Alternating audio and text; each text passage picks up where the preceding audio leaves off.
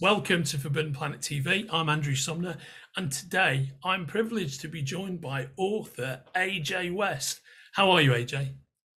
Yeah, I'm good, thanks. It's a busy day today because uh, I'm doing my first book signing. So uh, I'm hoping I might be able to do one for Forbidden Planet. And actually, I have to say, um, it's uh, quite a big deal for me to be in Forbidden Planet. So thank you very much for having my book. Oh, it is our pleasure, and we're very excited about the book, and I'm sure we'll get some signing figured out. I'm sure that that's a conversation that is going down at the moment because it's a wonderful uh, concept, your novel, The Spirit Engineer. So, what can you tell me about it, mate?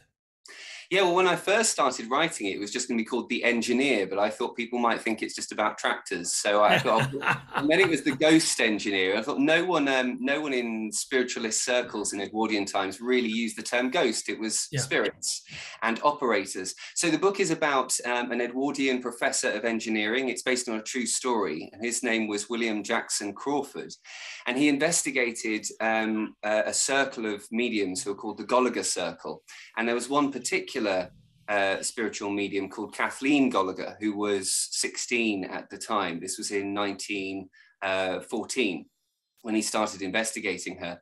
And basically, together, they became world famous, not just in spiritualist circles, but beyond that, because Sir Arthur Conan Doyle, who people will know, obviously wrote the Sherlock Holmes books, but he was yeah. also he was he was the he was the king really of, of the spiritualist movement at that time was a, a great believer and so yes they rose to worldwide fame uh, and he investigated kathleen for a period of six years and then uh, at the end of those six years having published uh, three books his uh, body was found on the rocks, Picky Rocks in Bangor in Northern Ireland, in strange circumstances. He had taken his own life with potassium cyanide. Sir Arthur Conan Doyle said that he had done so because it was his last greatest experiment um, Harry Houdini, who people might also know, were devoted much of his later career into debunking spiritual mediums. He said no, he, he discovered after six years that he had been made a fool of and that it was all false. And so my book is telling that story. It's based on a true story, but it's very much my dramatization of it. And, and, and AJ, how did you how did you come to be uh, associated? How did you were how were you exposed to this story in the first place? exposed is yeah it's a, it's a good way of putting it actually because it's taken over the last four years of my life i i was um i, I read uh, i watched uh, an hbo series with adrien brody playing harry houdini and i was i remember that a brilliant series actually yeah. and that covered a little bit of his spiritualist investigation and um, as we do these days i got straight on my phone and was googling around it and found that houdini had a book called a magician among the spirits which is still available as a reprint online and i ordered it and was reading through the book now at the time i was a bbc tv reporter and, and, and newsreader uh, in belfast in northern ireland yeah. And so I got near the end of the book and out of nowhere he just mentions in in passing really oh there was this professor jackson crawford in belfast. He killed himself. I met him. I thought he was mad. He more or less invented ectoplasm um, to use my own uh, phraseology. And I almost dropped the book. I just couldn't believe it because no, no one, you know, there's, I, I, had done stories in Northern Ireland about some of the uh, socio-political history, but no one really had spoken about the spiritualist history in Belfast and in Northern Ireland. And it just knocked me for six. And as soon as I read it, I thought, well, this story must have been told a hundred times. But the more I looked, it, it kind of hadn't been told really. And um, I'd always been looking for the story that I had to write for my first novel. Yeah. And I just knew in that moment that I'd found it. Yeah, well, and it's, it is a, a, a tremendously, tremendously powerful story. Um, I find it very interesting that all of this spiritualist activity should be taking place in Belfast, which is so strongly identified identified with Orthodox religion. So, so do you think the two things go hand in hand? You know, the kind of the, the the, fascination with spiritualism and the fact that there is also a tremendous amount of religious belief in the area, or is is is that not really the case? What's your view? Yeah, it's a really interesting question. It's something that I touch on in the book.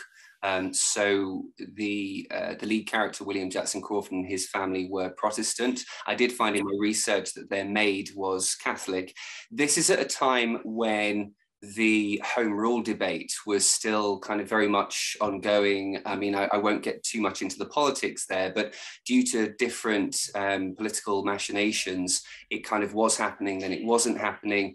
Um, and so uh, religion was also very much a part of that. But, but um, Catholics in Northern Ireland at the time were suffering a great deal of oppression.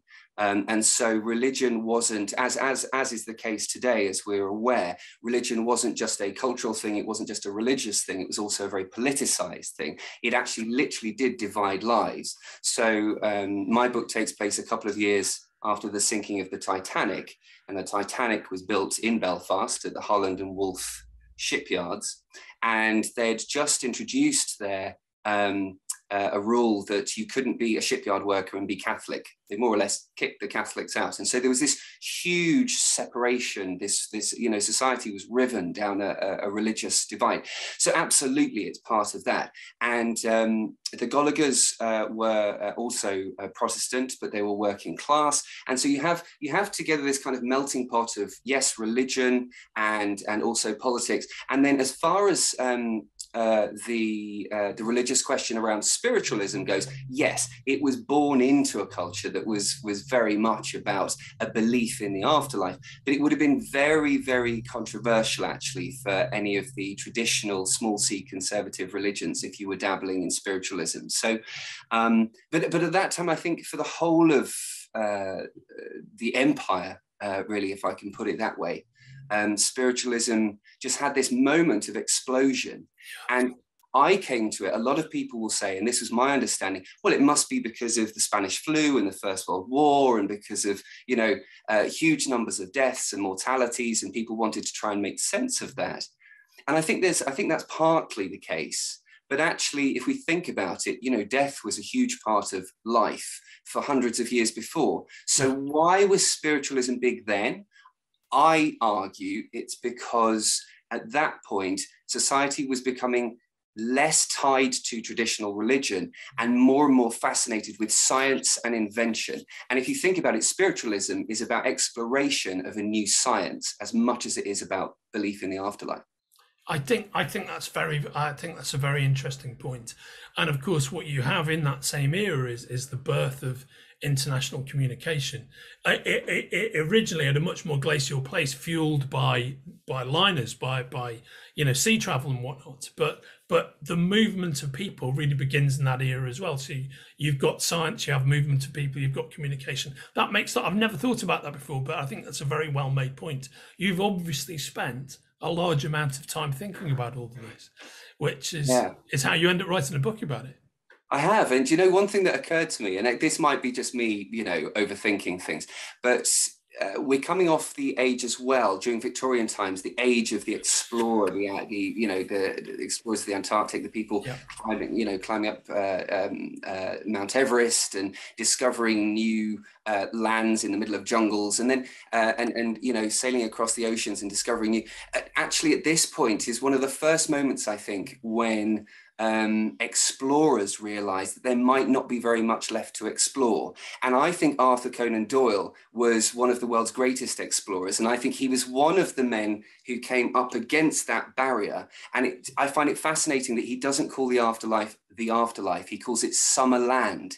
And it's almost like. Interesting it's almost like he's wanting to be the first person to plant a flag in a new continent. Only the yeah. continent is beyond the veil rather than yeah. on this planet so so interesting so interesting. I find it i, I find it fascinating um, that period of time in conan doyle's life given the fact that he had been such an empiricist for such a such well, maybe that's part of it but it's it's the fact that he, he had such an empirical take on things and yet he became fascinated with things which were amorphous and i guess he was in on a mission to to prove those things and render some kind of understanding to them yeah, he, he believed, I think, in um, reaching the the unknown and exploring the unknown. And uh, you know, he was he was kind of ridiculed, not not least actually by Harry Houdini, in fact, yeah. for for his beliefs. but he was um, an extraordinary, a wildly intelligent man. And he just didn't see boundaries, I don't think, in the way that most people did. And so it seemed completely natural to him that it's only right, of course, we should explore what happens after death. Why on earth shouldn't we? And isn't science um, allowing us to explore all sorts of things that we haven't been able to before. We can fly now. We can see further into space. We're starting to discover what the makeup of the world is, what the makeup of our bodies are in a way that we never have before. Yeah. Electricity, you know, all of these things that we didn't understand before, we're now coming to understand. Why shouldn't death be one of those things?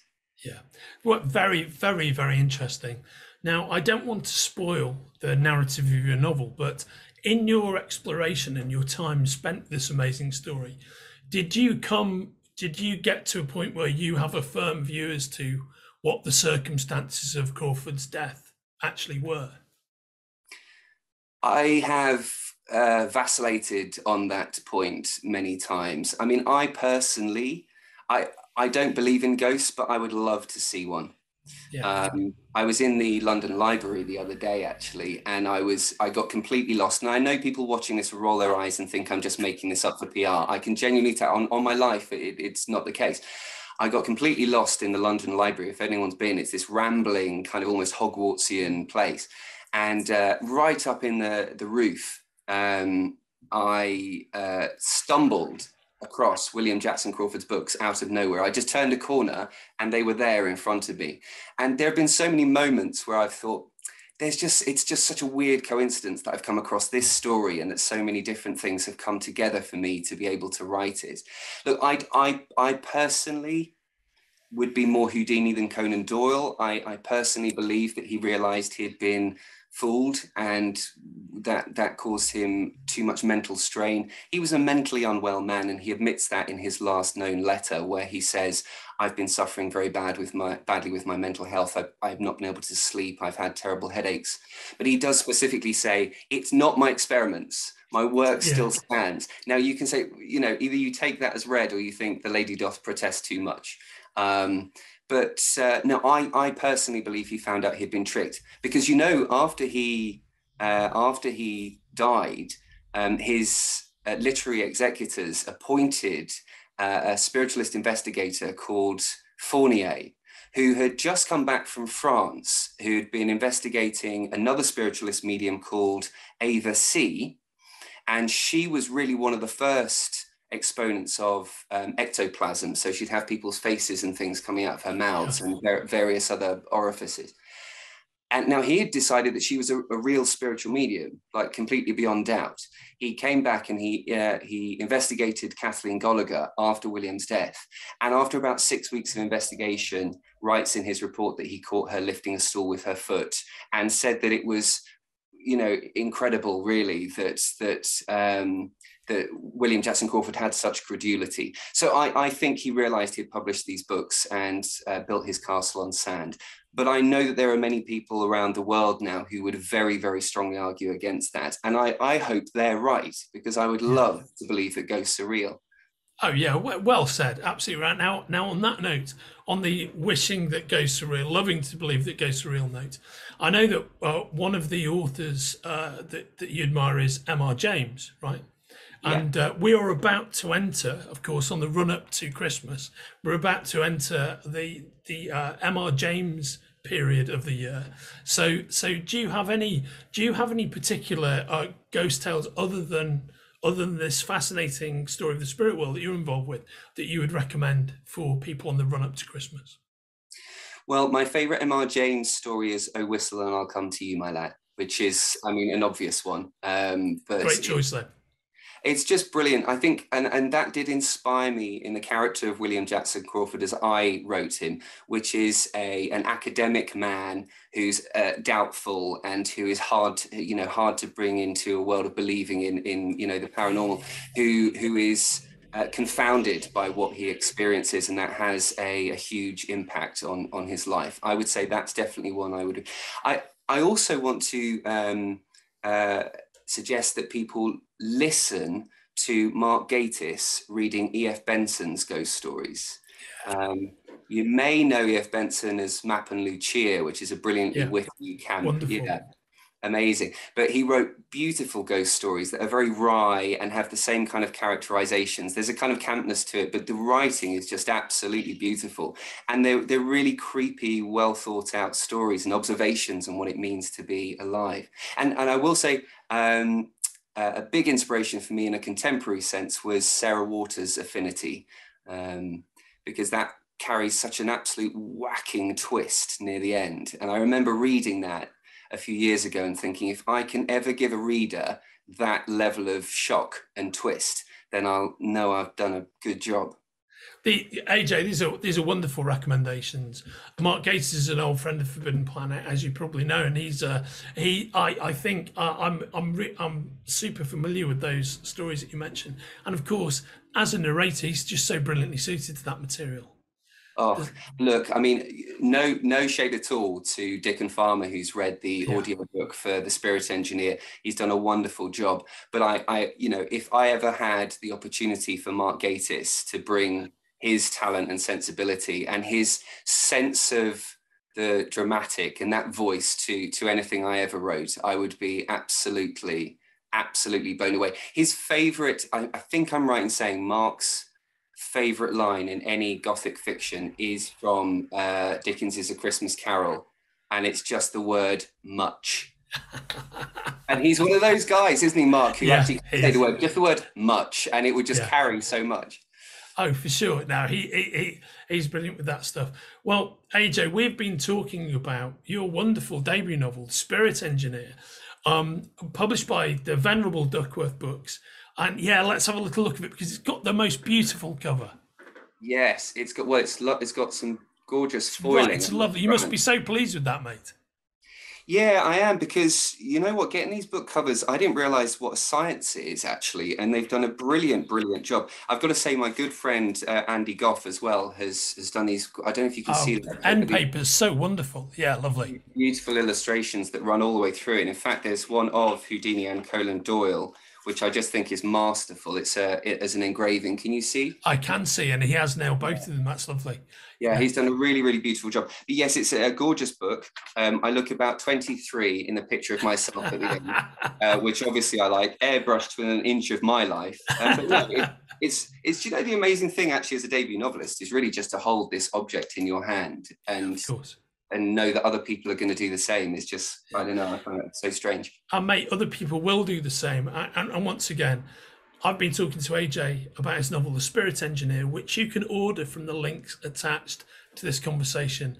Um, AJ, thanks so much for joining me. And when we get to the other side of this extended pandemic and this extended altered state that we're all living in, you've got to come into the store and do a reading for us, mate. That'd be awesome oh, that would be a dream come true. I'd really like to do that. And everyone watching, if you want to come and uh, connect with me at AJ uh, AJ West Author, I am on all of the social uh, media platforms. But yeah, no, I'd love to come and see you all, um, as you say, when things are settled. Fantastic. You take care of yourself, AJ. Congratulations on the book. I know it's going to do extremely well for you. And thanks so much for joining us. Thank you, Andrew. Thank you very much. Bye bye. If you're enjoying watching Forbidden Planet TV and you're enjoying watching us talk to the world's most interesting and accomplished filmmakers, authors, artists, musicians, creators, subscribe right here. See you soon.